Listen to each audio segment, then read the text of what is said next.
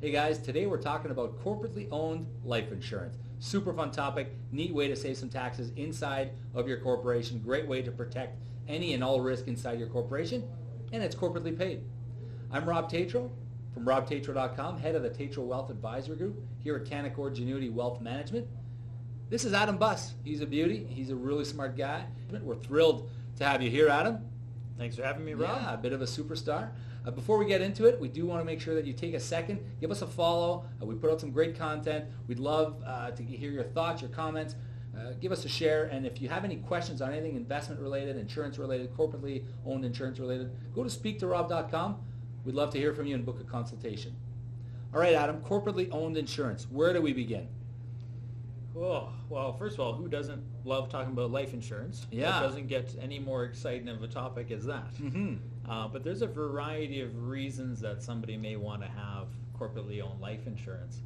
Um, often we see, you know, buy-sell agreements. Okay. A great way of kind of protecting the corporation for, for that would be using something like a, a term life insurance policy. Okay, so you and I are partners in a business. Yeah. Uh, we, we put a, in our shareholders agreement, Yes. there's an agreement where if I pass or if you pass, you're buying out my that shares. I'm going to buy your shares from you. Okay. So it's pre-agreed upon that this is what's going to happen.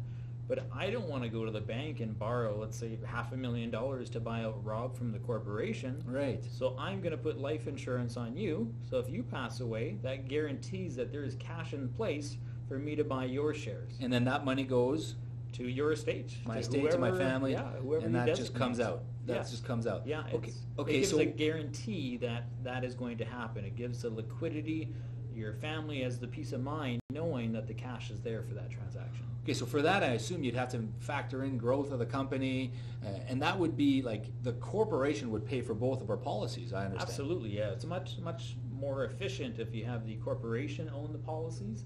It's paid with after-tax corporate dollars instead of after-tax personal dollars. As we all know, the corporate tax rate is a lot lower than the personal tax rate if you had to pay for that policy yourself. So we're chugging along. We're running our business. The corporation has a monthly expense or an annual expense Yeah. for insurance, Mhm. but like you and I don't suffer as a result on our day-to-day Correct. salary or Yeah. anything. And if ever anything happens to me, heaven forbid, you get the company, you get ownership on it, and my family gets the wealth. Exactly. It's a neat way to structure something to protect ourselves and our interests because, you know, if, if there's no USA in place, maybe my wife now gets the shares or my partner or my estate gets the shares. Right. Maybe they don't know anything about our business. Yeah. It could be complicated. So that's very important to look at in the, in the shareholder agreement, I would imagine. Absolutely. It's Okay. a key component. So that's one. So you could do a buy-sell agreement. What else Yes. could, could insurance, corporately owned insurance cover? Well, a a lot of corporations have, have debt within the corporations, whether it's buying real estate or operating loans. You know, it's, it's nice to have that debt paid off in, in case of, you know, somebody passing away who's one of the key owners of the, of the corporation. Often banks require that the loans have adequate insurance coverage on it as well to give them the peace of mind that if the key employee, you know, let's say Rob, uh, passes away, that they're going to get their money to pay off that loan.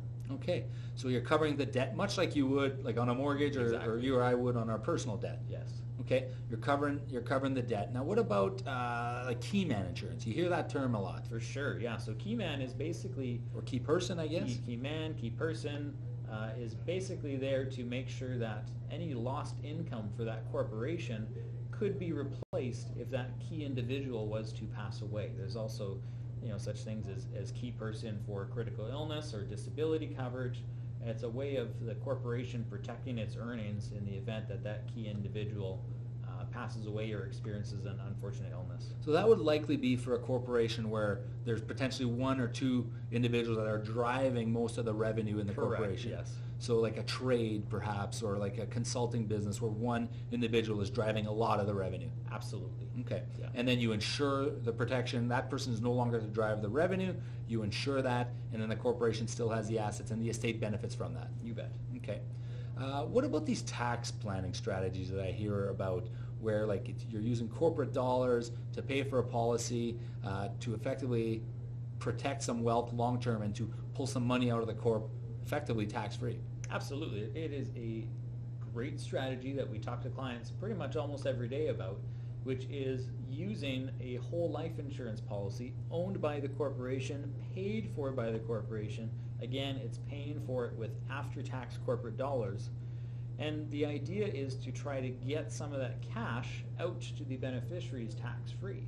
Or maybe it's used to pay a tax liability on the on the disposition of your corporate shares when you pass away, uh, you know, a large real estate tax liability again, uh, or you just have far too much money in your corporation, which is a good problem to have, but we want to try to get that out tax-free to your beneficiaries as much as possible. And whole life insurance is one of the best strategies to do that. Okay, so let's talk about that last scenario. You got too much money in your corp. Great problem to have, by the way. Super fun problem. So you got a ton of money in your corp. You're not going to be able to spend it all. You're in the kind of high net worth uh, ranking. You would consider yourself a high net worth. There's a lot of money built up in the corp, either through an operating company or a holding company. Mm-hmm. So you've made profits in your operating company. Maybe you've maybe it's moved to the holding company. So now there's wealth that's accumulated there. You're never going to spend it. You got RSPs. You got tax-free savings account. Is that a situation where you could potentially consider a whole life policy? It's certainly something that we take a deep dive into every client's unique situation. Um, I want to address and see, okay, how much of this corporate cash is actually needed to fund your lifestyle over time? Is any of it earmarked for a uh, particular corporate project? Maybe the person wants to go and buy a, a new rental property in the near future. But we want to look at how much of that cash is surplus, it's just sitting there. Uh, you're having to pay tax every year on the investment growth. And we want to see, okay, how can we try to make that a bit more tax efficient moving forward? Okay. And we're basically going to take some of that corporate cash every year and basically shift it from pocket A to pocket B into a tax exempt life insurance policy where all of the growth is tax sheltered. Down the road, when you pass away, it pays out to the corporation, 100% tax free, and then it pays out to the uh, beneficiaries of your estate through the CDA credit. The CDA would be the capital dividend account? Capital dividend account, which is a tax-free uh, amount that can come out of the corporation. So the corporation pays the insurance policy. Correct. I pass away, the corporation gets it tax-free. Yes. The million or two million or whatever it may yeah, be. absolutely. And then it also comes out of there completely tax-free through the CDA. Yes. So generally it is going to be completely tax-free. Uh, there may be a portion which is taxable, but you know it's very minor by comparison, and generally the tax savings is huge by comparison to not having the strategy put in place. So this would not be a situation like we've done in some other videos. We've talked about protecting risk uh, through insurance. This would not be a situation where you're, you're trying to protect a risk. This would be a situation where you're trying to optimize your estate for you're wealth. optimizing your estate, you're optimizing your tax efficiency for your corporation. Some people will use it as a tool to avoid the, the small business deduction uh, the grind on the small business tax rate since they implemented the passive income changes. Any income generated in a life insurance policy does not apply towards the passive income. Oh, it's rules. exempt from is that 50 exempt grand. from that rule. so- Okay, so the passive income grind, if you make more than 50 grand in your, your 50 grand of passive income annually in your corporation, your small business tax rate exemption gets grinded away, I guess, is Correct, the way you would say, and this income would exempt that. That's correct. Okay, so just another way to shelter income. All right, so we've talked about a whole bunch of different things, but we talked about protecting debt, we've talked about key person insurance, we've talked about the tax efficient strategies, we've talked about the buy-sell agreements. Anything else you can think of that would make sense for a corporate, uh, corporately owned policy?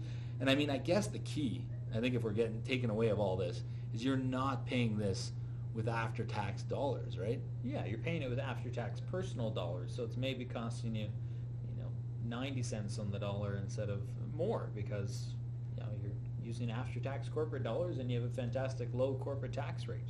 The other thing we often look at is which corporation, if you have multiple, should these policies be owned within? And again, that's something we look at with our clients to make sure we find the right fit. so many times uh, we'll, we'll see a client, we'll meet a client, and the, the insurance is either not owned by the right corporation or, or it's being paid by the wrong corporation or it's owned personally when it should be owned corporately. Yeah. This is stuff that I feel is fairly high level and you, you, you probably need really, really, really good advice on this. So if that's something that's on your mind, make sure to speak, go to speaktorob.com uh, to get a, a free consultation with us. Adam, uh, I thank you for your time today. We looked at uh, a lot of really neat things. Um, I'm Rob Tetrault from robtetrault.com. Thanks for tuning in. I'm head of the Tetrault Wealth Advisor Group here at Canaccord Genuity Wealth Management. I had today with me Adam Buss, Senior Wealth and Estate Planner here at Canaccord Genuity Wealth Management. Give us a like, give us a follow, give us a share. If you have comments for us, we'd love to hear them from you. Please send them our way. And again, go to speaktorob.com if you'd like to have a chat with us. Thanks for tuning in.